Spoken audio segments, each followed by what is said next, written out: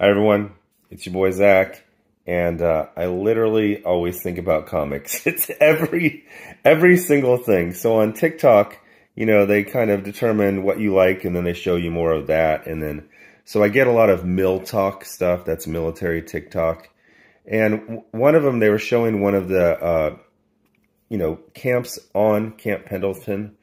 Uh, so the way that Camp Pendleton, that's the major West Coast Marine base is, is that it's this giant, gigantic base. And then you have little, you know, you have like uh, SOI, well, you have Main Side, you have freaking airfield, you have uh, San Mateo.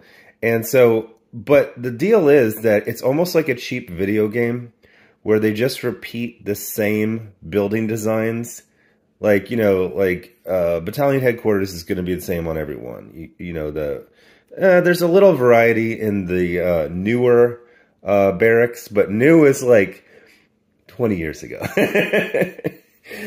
I remember when i first got to uh, san mateo after after i was done at soi and that's literally on the same base. They're just a couple miles away. Since i was uh, married at the time i got put into a separate older even older barracks that was called the crack houses. And while I was walking up, I was like, this looks familiar. And then I remembered it was because uh, USA Today had had a cover story about like all of the problems with like mold and and uh, below standard living conditions, and it was literally in the place that I was at. Anyway, they showed one of the camps and people were saying like, "Oh, this is uh this is Las Flores, this is Pol- uh Pulgas, this is Mainside." And I was like, "No. No. That's Camp Horno. It's Camp Horno just south of SOI, and I know because I went there one time and I went to the PX and I freaking read a Brian Michael Bendis, Alex Maleev Daredevil issue right there. and the thing is, um, how do I say this? Uh, every Marine on Pendleton is going to go to like the main side, but if you're from San Mateo, you're you're going to be on San Mateo or out in the field. Like you're not going to go to Las Pulgas or Horno for almost any reason. I think we went to Pulgas once for some arty training. Anyway, three minutes in. Oh, not even three minutes in. Two minutes, 50 seconds in. So, um, I saw this yesterday, but then this morning I had like three different ideas for videos, and it's like, uh, some of those I already covered in a community post, and uh, but when I saw this picture yesterday, I laughed, and this kind of fits all of the things that I wanted to say in like a grab bag of ideas. In that, women overwhelmingly are encouraged slash force slash gaslit into pretending to like things that they don't like, and it's gotta be miserable. I gotta be honest, I love comics. It's tough right now. There's not very many good comics. There's just endless activism, and the employees are just rude and mean and miserable people. It's not funny, it's not fun. What keeps me here is that I actually like it. So I'm just trying to weather the storm. I gotta tell you, it's not fun looking at my portfolio this year. But that that's how you that's this is investing, you know? It's up and it's down and ooh shit. Oh my gosh, I have lost more on Tesla this year than these SJW comic book pros have made in their entire career. But, you know, it's gonna recover they've had good sales. The CEO is just acting stupid as fuck, and that's why the stock is cratering. But their sales are good, and market everything's good except for the CEO. He needs to shut the fuck up. But anyway, so I've covered, you know, Heather Antos. She's complaining about reading scripts. I'm like, I've li- literally read 50 page scripts on my phone in an airplane because, you know, Chuck Dixon he's like, he's all excited. He's like, I finished it. What do you think? And it's like, well, I'm not waiting to land. I'm excited too. You got Heather Antos complaining about having to read scripts when she's an editor. You got her, uh, she called it a fee, But somebody um, uh, in the comments said, um, "You're not allowed to fine your customers." I don't know why she thought she. She's like, um, if you want to talk about CG, I'm going to start charging you five dollars. And I think a lot of people misinterpreted that as CG people were coming up and talking to her at conventions. Oh no no no no, that's not happening. She is actually chiding her supporters for bringing up CG. She has made CG her entire identity. Whenever she needs attention, she will mention CG so she can be a damsel in distress. And now she is literally, I don't know what you say, charging her simps for talking to her about the thing that she made her identity. It's insane. And so I was talking to a friend, and it's like, you know, I just don't get it. I, I, she's hiring the wrong people, or she's in the wrong trade. And I was like, she's hiring the wrong people, and she's in the wrong trade. If you read interviews with Heather, she got in because she kind of didn't know what to do. And a friend, a male friend, suggested maybe you should get into comics. And then Jordan White was like, oh, and that's thanks a lot, Jordan freaking clown. So anyway, um, one of the saddest, weirdest things I see is just the unhappiest women you've ever encountered, and they are everywhere in fandom, in the industry, and they very obviously just don't like it.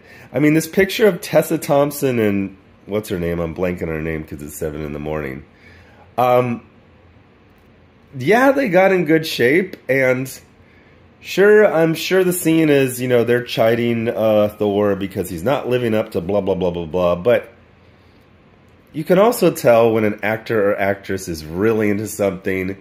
I mean, freaking uh, Chris Evans, when he is Captain America, I mean, that is every guy's dream to be that character, and he loves it.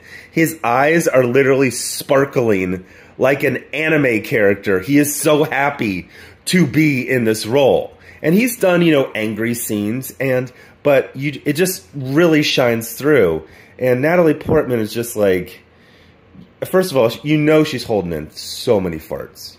Like so many farts. They put a tiny woman on that much supplements and protein and creatine. She is basically just holding in farts the entire day. So you got this bloated creatine expanded Natalie Portman, and she was like, I used to. I used to do dramatic movies, and you know, I, I wanted to get away from the Star Wars. You remember Black Swan, and now I'm Thor girl or something. I don't know what's happening. Wasn't I Thor's girlfriend like ten years ago?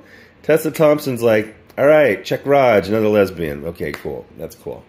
Um, I'm pretty sure she's bisexual, but she basically only plays lesbians. And it's not funny, it's not fun, they're not fun. And they're not miserable, or they're not happy, they're miserable. And there's something that miserable people will never do. They will never just, um, actually, I do know one friend. One friend is completely miserable. and, like, nobody knows. He just sucks it up, you know, he's just trying to deal with some shit Everyone thinks he's this happy-go-lucky guy, and he is fucking miserable. But he's pretty rare. Most miserable people are just Eeyoreing it up, and they are just bringing down the entire room. So now we've got, like I said, Heather Antos literally has a spite career. Um, uh, the funniest thing is that um, every time I mention CG right now, like there will be half a dozen, a dozen, two dozen comments where people are like, What's CG? Heather Antos has made being, you know, attacked by CG her entire personality. Then she wants to fine, not fee, fine people for talking about the thing that she made her entire identity. She complains about reading comics when she's an editor and that's literally her job. And then you even see these Tessa Thompson, Natalie, they're not into this. They don't want to do this. But they're told their agents like, "Hey, you got to you got to be a superhero." They're like, "Okay, can I play Marvel Woman?" No. Well, first of all, there isn't a character named Marvel Woman. I'm sure there is, but Uh, can I play Batgirl? Well, you're 40. Um, I don't know, just anything. I don't care. Why? Why do I have to tell? Like she has to fart so bad, so bad. she hates it. She she she doesn't like the character. She doesn't like comics. The, she doesn't like lifting weights. She doesn't like the, all the discipline. She wants to play, you know, beset, uh, uh, psychologically manipulated ballerinas. That's what she wants to do. That's what she likes. She doesn't want to do this shit. Um, so anyway, um, answers? I don't really have any answers. This is going to continue, I believe, forever. There, I'm not a Doctor Who fan, but they're casting the next Doctor Who. And they're like, oh, our stunt casting of a woman didn't work. I know what'll work. Black Doctor Who and black trans sidekick. Boom! Winner, winner, chicken dinner. oh, and I'm not even a Doctor Who fan, but I know that Rose was like a super important character for that fandom. I remember when Rose was introduced and for you know the years she was on and it was constant coverage. Fans absolutely loved Rose. And you know who they're going to love even more? Uh, Black Trans Rose. Oh my gosh. Everyone just Whew, it's uh, it's so fun. The other one, and this is another thing I was gonna, you know, connect to, uh, is that um, it really does feel. Um, I always use the word beset. That we are beset by Heather Antos and pros like that. Just just miserable people who don't want to be here, who don't like comics, who don't like the fans, who don't like literally doing their job. Chris Conroy does the same thing. And I was like, we're babysitters. We've literally been babysitting. Heather Antos, oh, are you cranky? No. Do you want to take a nap? No. CG is mean. Yes. There's no CG. Those are your friends. I'm going to make them pay me. okay. okay, go ahead and find your. And, and the other thing people said is like, why does an editor have a table at a convention? Like she she exists at such a level of privilege that she is being flown out to conventions where people just walk by confused. I saw a tweet where she's like, I got three commissions at Calgary Con. I'm like, that's not a lot.